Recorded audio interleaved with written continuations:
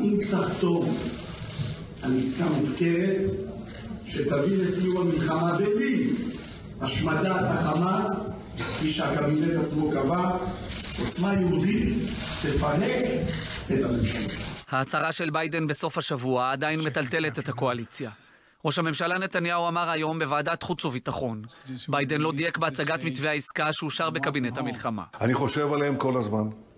אני חושב עליהן כל הזמן. על המשפחות שלהם.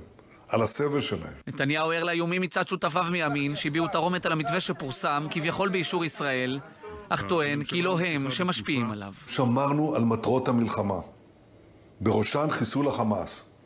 אנחנו מתעקשים שאנחנו נשלים גם את זה וגם את זה.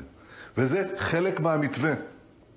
זה לא משהו שאני מוסיף עכשיו, זה לא משהו שאני מוסיף כי לחצו עליי בקואליציה, זה משהו שסיכמנו עליו בקבינט המלחמה פה אחד. סמוטריץ' ובן גביר טוענים שלא עודכנו בפרטי המתווה שהציג ביידן ומאיימים. ההצעה המסוכנת שעליה דיבר הנשיא ביידן בשבת ניתנה על ידי קבינט המלחמה בחוסר סמכות ובניגוד לחוק, והיא איננה מחייבת את ממשלת ישראל ואת מדינת ישראל.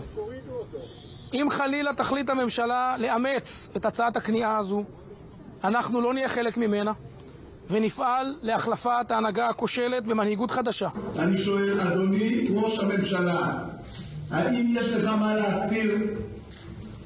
אדוני ראש הממשלה, האם העסקה אינה מופקדת, כמו שאתה אומר? אם אין הסכמה לסיום המלחמה, מדוע אתם מסרבים להראות לי את הטיוטה? במהלך הצהרתו של השר בן גביר בכנסת, צבעו על הדלתות כמה מבני משפחות חטופים.